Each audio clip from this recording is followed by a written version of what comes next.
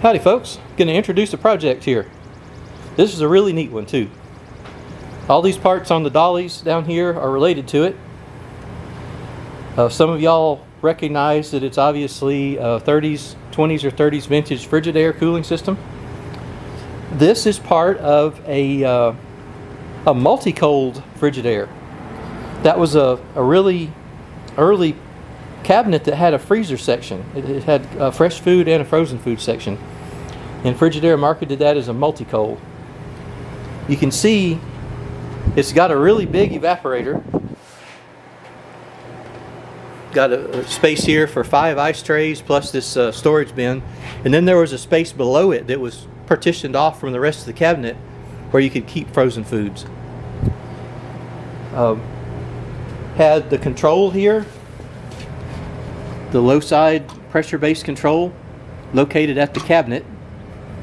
And then it also had uh, the condensing unit was remote, big twin cylinder. Now uh, this was running, I believe, up into the to the 80s, and uh, when it was decommissioned, this was the motor that was on it when it was decommissioned. It, it is a Delco motor. It's capacitor start, nothing wrong with it. But uh, we have an original motor here. This is this is what it would have come with from the factory. It's a brush riding repulsion induction motor. And uh, as you can see here, the wiring on it is uh, leaves a lot to be desired. It's going to have to be gone through and rewired, refurbished. Now, the compressor turns freely. There's nothing wrong with it.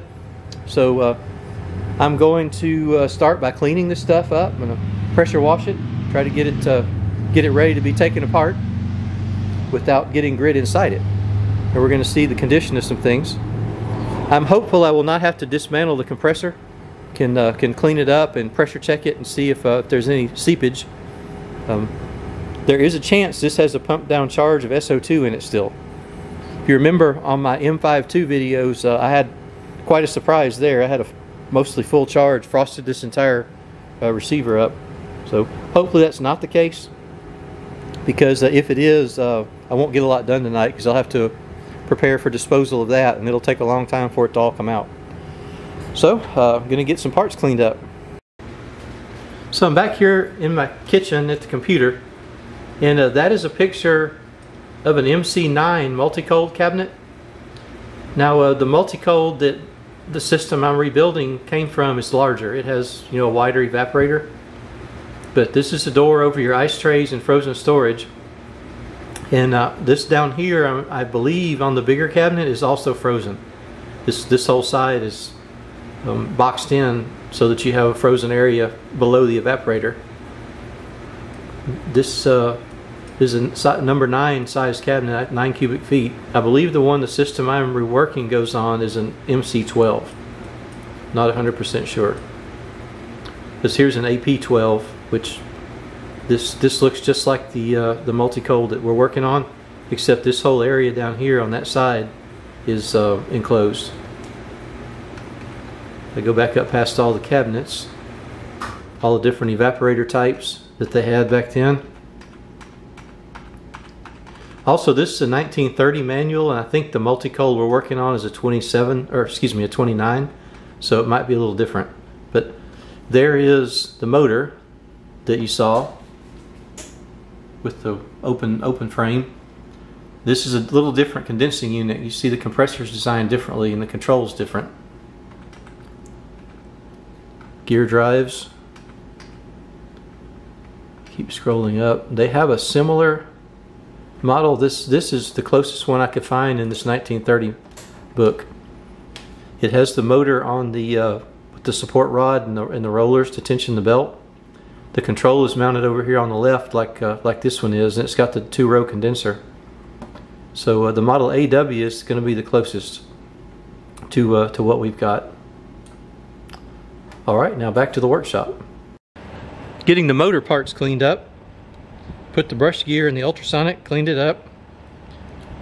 Put some uh, lubricant on the brushes, uh, brush springs I mean, so all this moves freely. Clean the rotor up. This one is a repulsion start induction motor, but it doesn't have brush lifting. That uh, garter spring you see is the centrifugal mechanism. There's a bunch of segments in there that sling outward and bridge the commutator. That's the only moving part in there. Then I cleaned up the fan and put a little bit of silver paint on it. A little bit rusty. In the past, I can tell its run bearings have run dry. Someone has polished that, but there's still a little bit of grooving in it. I'm not going to try to alter that because it was running fine like that. It didn't have any play in it, but obviously in the past it's had a little bit of a rough life. And on the stator, I put uh, replaced the insulation with heat shrink and revarnished this with black. Uh, normally I like the clear varnish because I think it looks better, but uh, this one someone had already put black on there and kind of did a kind of a poor job. So I went back with black just so it would uh, it would be consistent.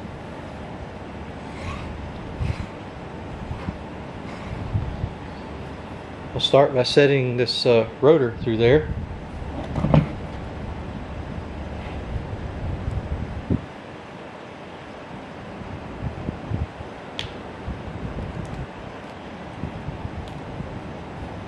I'm going to go back a little farther than normal with it because uh, this brush gear is a little bit finicky to put on there.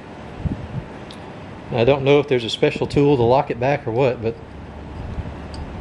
the only way I know to do it is kind of like so.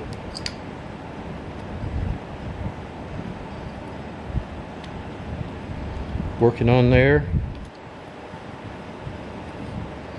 Now this uh, pointer was in that orientation and there's a mark on the rear motor belt housing where it's supposed to be angled to.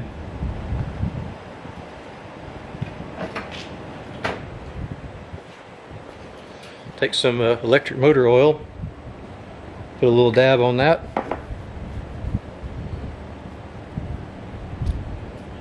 Also put some on the thrust washers.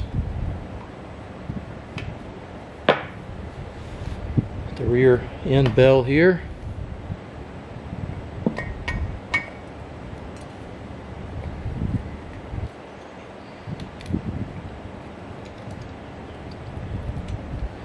Try to get that brush gear to go over its pilot that it fits on.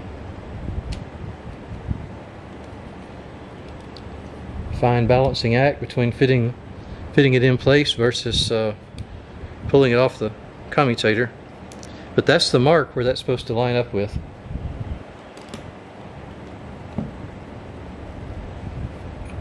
Now you may notice that I've not painted the, the body of the motor.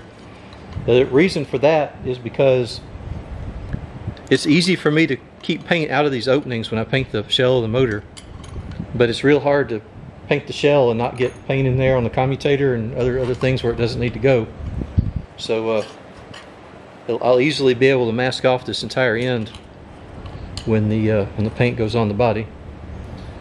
So that's got the back in place. Move around here to the front lubricate everything up a little bit.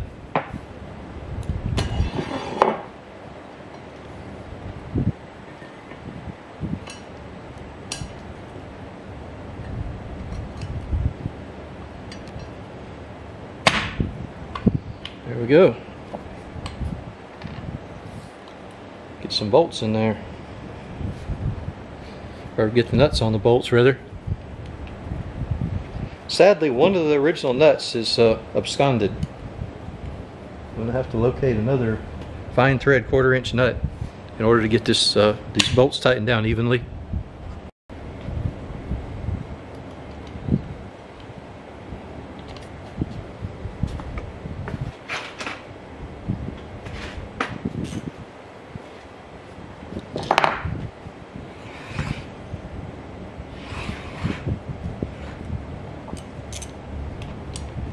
One thing about these old motors from this, this time period, they are very, very heavy for their size. I mean, it's obviously, it's not a huge motor. It's only a one-third horsepower. But you take any modern one-third horsepower motor, and uh, you'll you'll definitely know the difference. These uh, these repulsion start motors, the rotor is incredibly heavy. There's a lot more to the rotor than there is in a regular squirrel cage induction motor. And for a compressor with one or two cylinders that has pulsated, pulsating torque demand from the motor, the more flywheel mass you have, the better. So these are a very good fit for these compressors. Not only do they have the, uh, the really good repulsion motor starting torque, but uh, they have a lot of, of flywheel momentum. You add those two together, and it's, it's a very ideal compressor motor.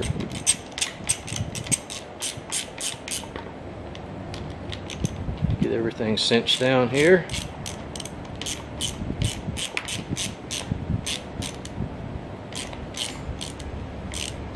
Might get to see this motor run yet tonight.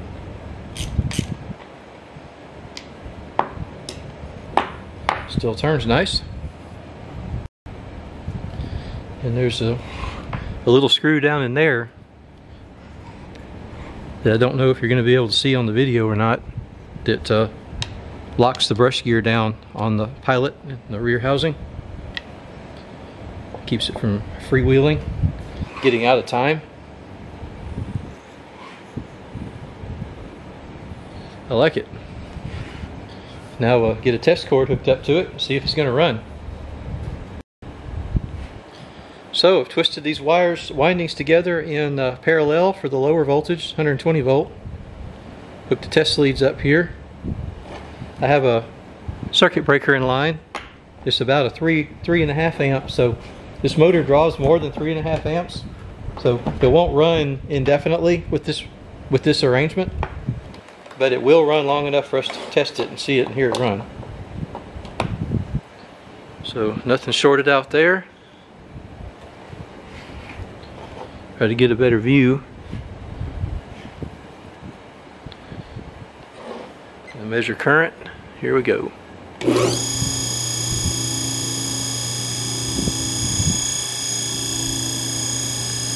As I said, it's a brush riding motor. So the brushes are going to make that sound the whole time it's running.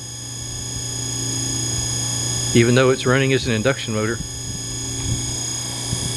And I'm going to add some oil to the to the bearings because I don't have the oil wicks in place.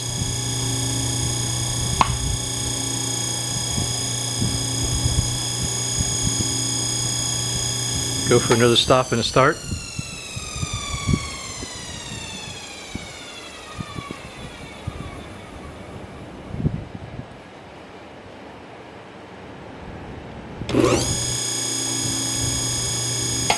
Doesn't sound bad at all.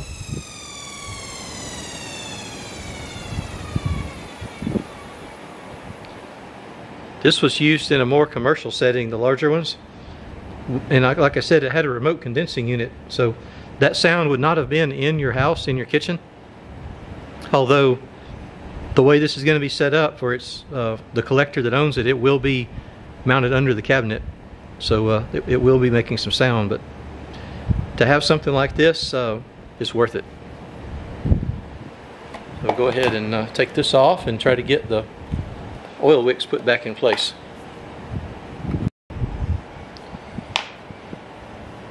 So these uh, these oil wicks were just pushed down in there.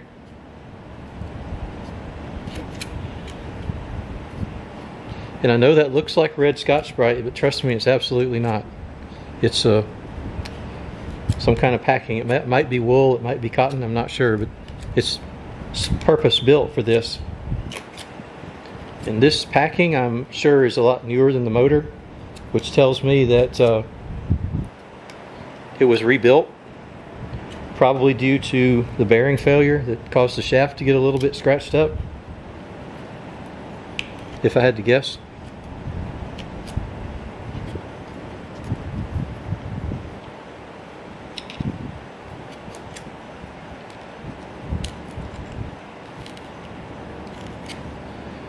that all packed down in there where it needs to be.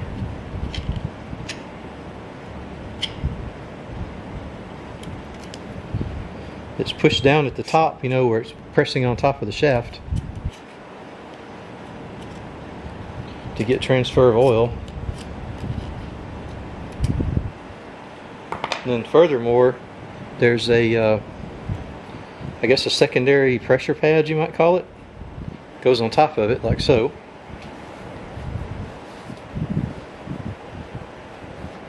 Then I'm not going to put it on yet, but then of course you have the cover plate with the Gits oiler. Goes in there. Go in here and do the same with the front one.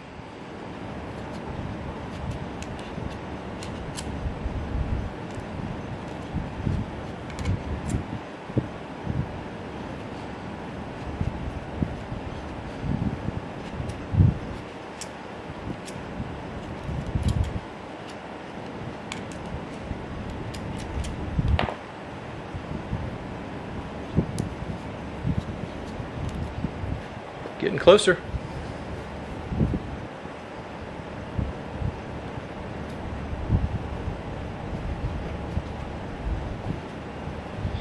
Be a lot easier for me to oil it up before the, the cap, the cover goes on because once that oiler's in there, it's just designed to take oil a couple drops at a time for maintenance.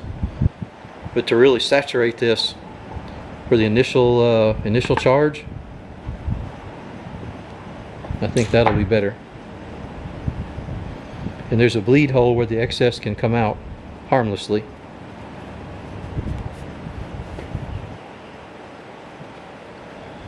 And all that gets mashed down in there by that. A piece of wood and a rubber mallet.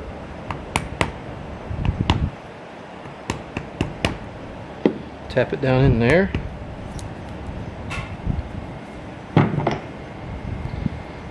That's got the front one taken care of. See there's a plug in that one. Somebody had put a pipe in the back one that was broken. So that's open. I've got to locate another plug to put in there before I proceed. Otherwise the oil will just go out on the table.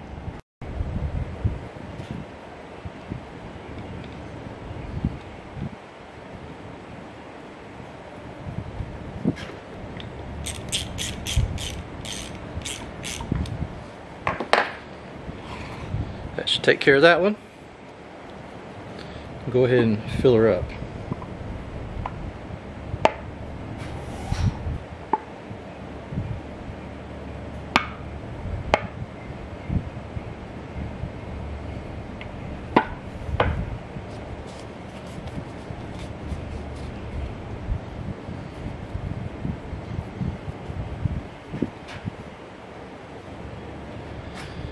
And the cap.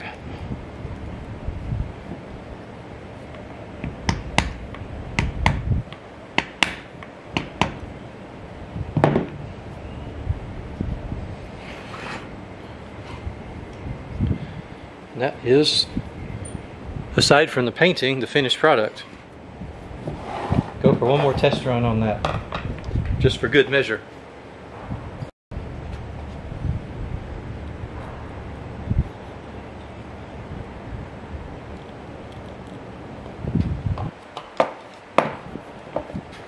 Here we go.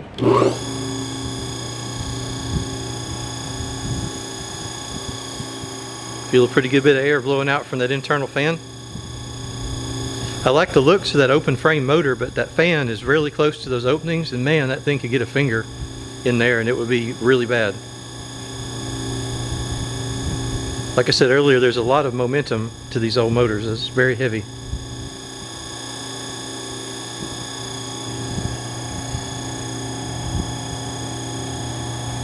It'll be interesting what this motor sounds like with a compressor load on it. That's a twin cylinder compressor. So there will be pulsations in the torque and the speed.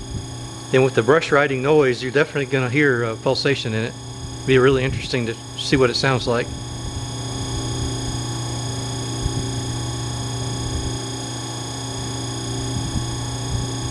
It's smooth running.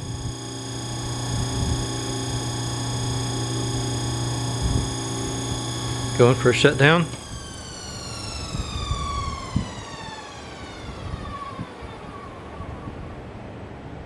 Gonna move on to the control now. Took it apart, cleaned all the parts.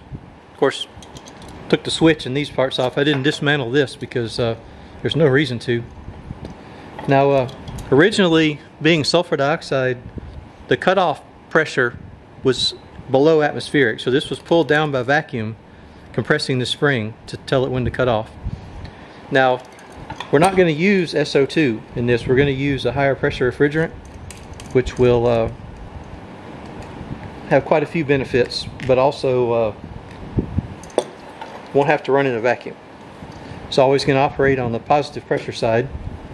So I'm going to take this stem out and remove these springs off the top part of it. They're not going to be necessary anymore.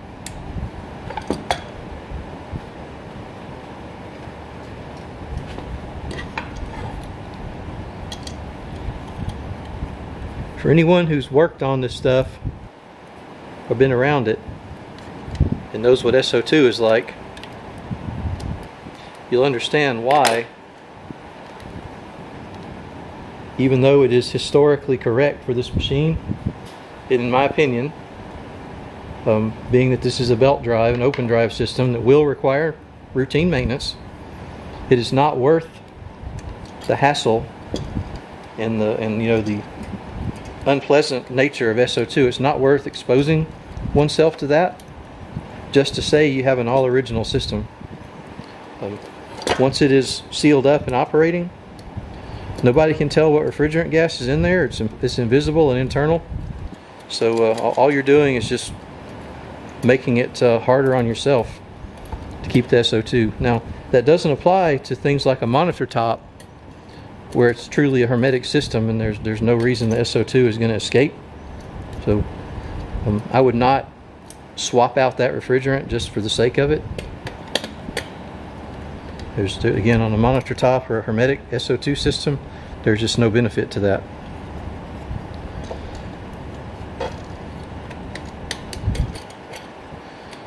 Now I've had these out of here before without taking this control all the way apart. But as I've said on other videos, this old Frigidaire stuff, there's multiple variations. And uh, there's a chance that this one, for some reason, the dimensions are slightly different or the angle slightly different. It's not going to happen. Or maybe it will.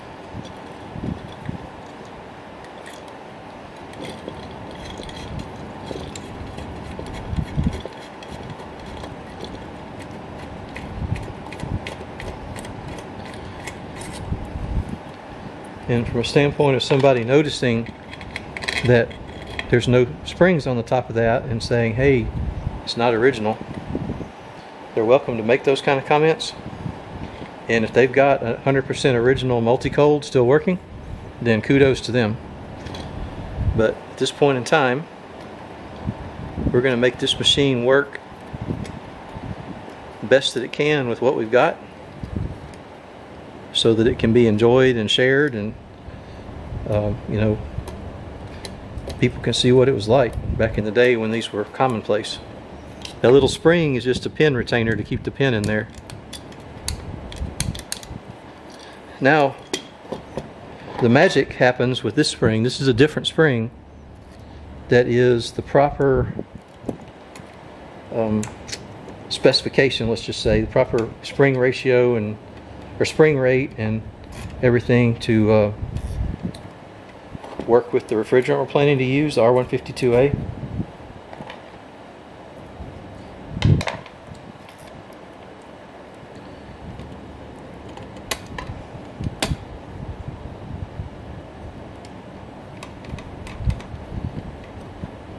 Put the adjusting adjusting nut back in place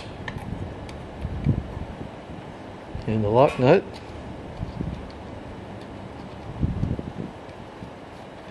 will just be hand tight for now. So when your evaporator pressure builds up because it's too warm bellows pushes up matches that spring and operates the control. So the next thing to put in here if I can remember how this goes it's like a Chinese jigsaw puzzle the switch contact block goes in. And then below it goes the little bracket for the um, cable op or chain operated cold control. That was a big deal back then, you know, having the ability to adjust your fridge temperature on the fly like that. That was uh, that was really something. Frigidaire was very proud of that.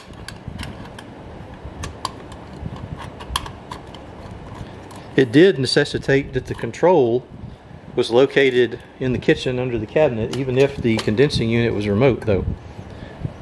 Because you had to have that cable system hooked up to it.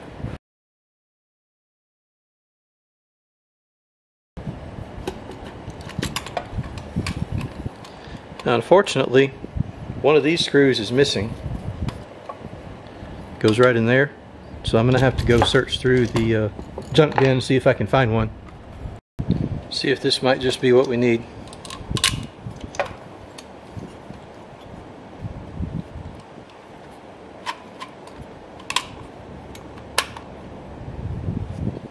Looking promising so far.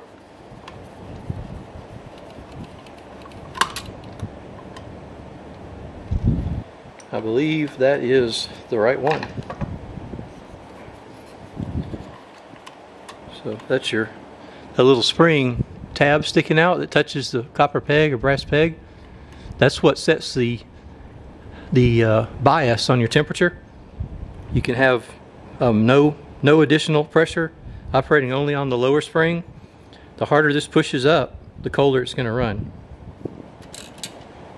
So this this little wooden post here is the insulator because these those are the main contacts right there. That's all electrically live when it's uh, energized. So this little wooden post goes in here and it is what keeps there from being a ground fault.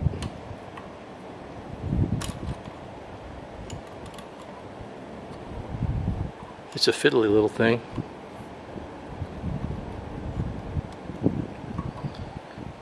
The newer ones of these, you know, new being a very relative term, have a Bakelite little dog bone piece in there that takes the place of that. So that's uh, that's the gist of it. Pressure builds up in the bellows, trips on. There's a adjustments you can do here. It puts pressure on it that um, basically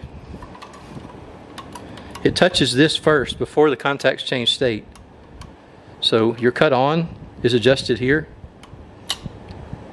And then the cut off happens after it's come out of contact with that. The cut off pressure is uh, adjusted by the spring and the cold control.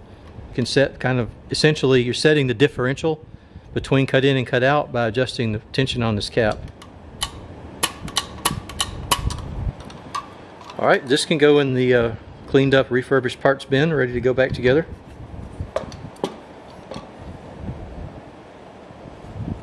Got the compressor there on the bench. Going to uh, pressure check it. See if there's any leaks. Determine if it has to come all the way apart or not to be rebuilt. You never know. Sometimes you get lucky. Got a nice little whiff of sulfur dioxide when I took that plug out. In uh, high concentration, sulfur dioxide is miserable. It's an irritant, you know. Little, little gasola, seal that up. But little whiffs of it like that, in, in my opinion, that smells like the good old days. It's a smell that would have been around from, from all these systems in use here and there. People doing maintenance on them. Okay, got the fitting in there where we can do the, uh, be able to access the high pressure side. Under this cap is the service valve. With it driven in like it is already, it's blocked off this return gas return port, the suction port from the from the refrigeration system. So that'll allow the gauges to be hooked up and pressurize the compressor without um, it connected to anything else. Then this is the uh, suction service valve. Operates exactly the same way. It's already front seated, blocking off its uh, system port.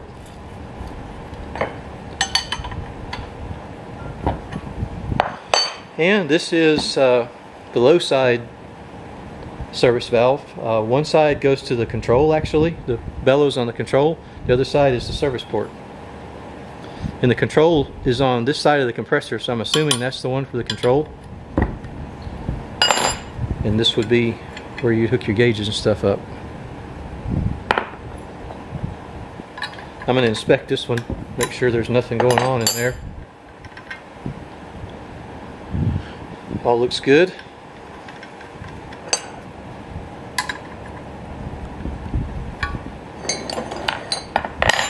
Time to hit it with some nitrogen. Put the red hose on the high side, blue hose on the low side. Not that it matters, we're not running a system, we're just pressure checking. Hook the yellow hose to the tank of nitrogen.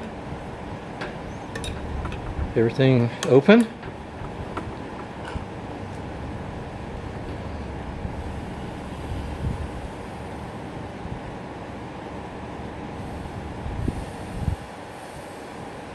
up to about a 100. Valve that bottle in and now it's time to get the soapy water after it. Although I think I hear a leak.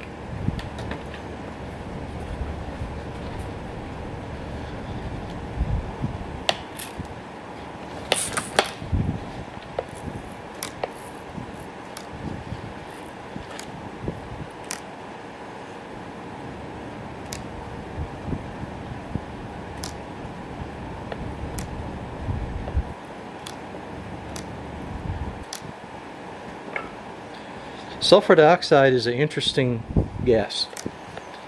It doesn't like to leak out through small leak paths.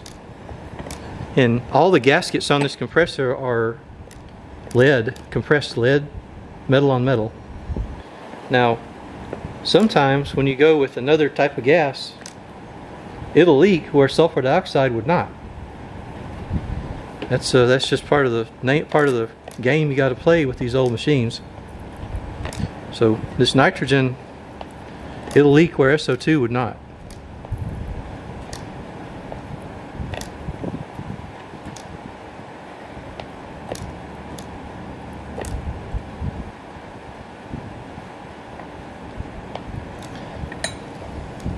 And like I said previously, this was decommissioned working. It was it was taken out of service in someone's home where it had worked for I mean, 60 or 70 years. And uh, sulfur dioxide has been, you know, pretty much unavailable as a refrigerant for a very long time. And uh, so obviously for the probably the last 20 or 30 years it didn't get any service and still had a charge and still worked. So, uh, you know, I'd be surprised if there's any just massive leaks on it. But Another property of SO2, when it sits for a long time, it, it becomes corrosive if moisture draws back in the system. So uh, it could have been okay at the time, but after it sat and the charge bled, bled off partially, it uh, developed leaks.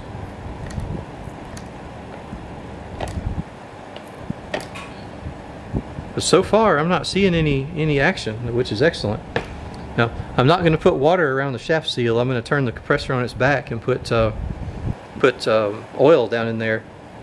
Because again if, if the seal's still good I don't want to compromise it by putting putting water in there giving the SO2 something to react with and, and start the corroding process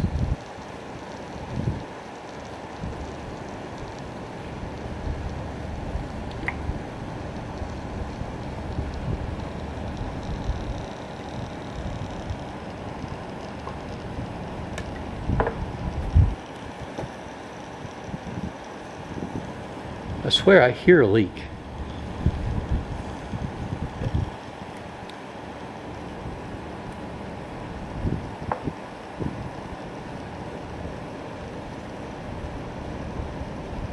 But my hearing a shot and I hear stuff all the time that's not really happening, so. Could just be that.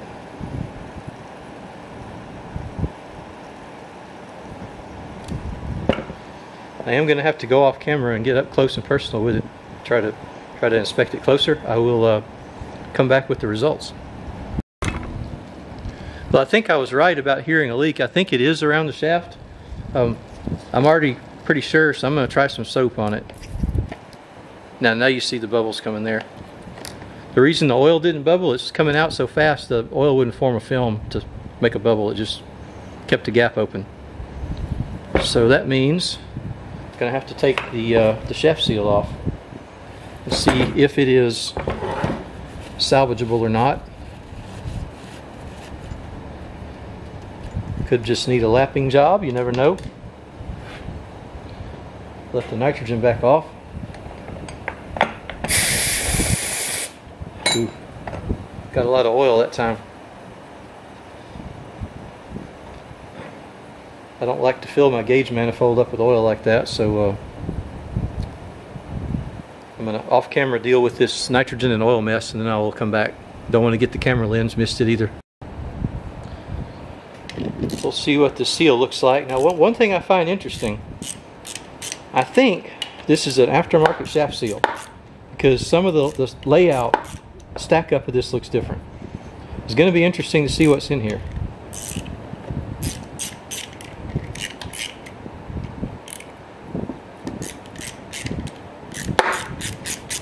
Some of y'all may have watched my earlier videos where I first started redoing these belt drive compressors, Frigidaire compressors, and used uh, Delphi Harrison car AC compressor shaft seal in them, which has worked quite well. I've got a couple of them that are going on four years old plus with the charge that went in it when I built it.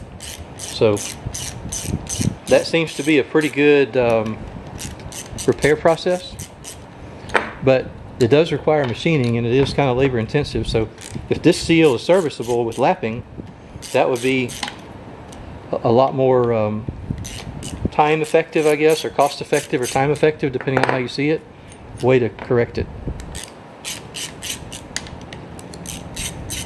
But being that this is probably an aftermarket seal, it's hard to tell what we're going to find in here. So there's, and again, there's so many variants to these. I'm not claiming to have seen them all, but I am going to say I've never seen that before.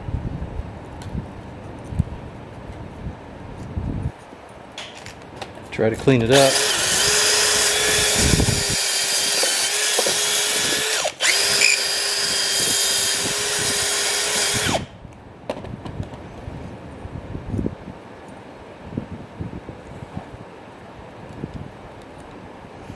The spring is definitely working.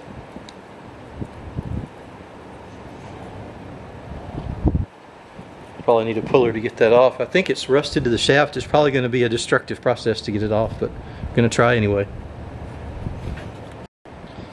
Went and got a little uh, automotive Pitman arm puller. We'll sit behind that, uh, the heavy steel washer behind the thinner plate. Oh, it's moving. That's good. And it's off. There was a pressed on copper sleeve. Went in there. Seal tension spring.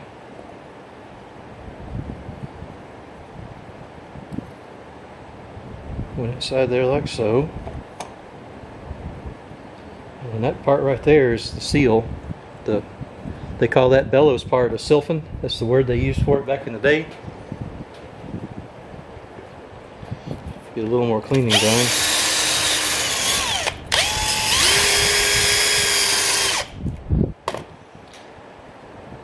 With a lead gasket.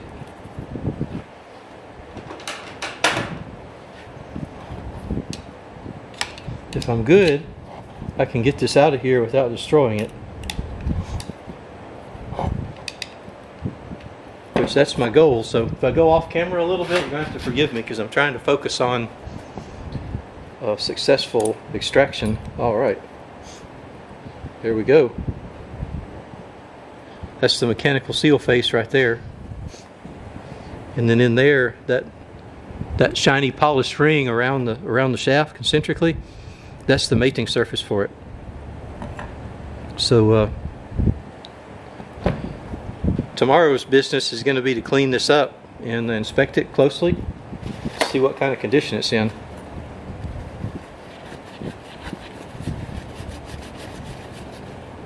You can see how it's kind of darkened in some areas there. Um, that's kind of what happens when this SO2 sits in there after it's been taken out of service, and it, it messes up the uh, finely polished surface of it. But again, that can be lapped. But the mating surface in here also has to be lapped, and that'll mean tearing the compressor down fully, which is going to be another day's work. So for now, I'm going to conclude this uh, part of the video of the Multicold and uh, share it. Hope y'all are enjoying seeing this old, uh, really cool piece of history come back together. Thanks for watching.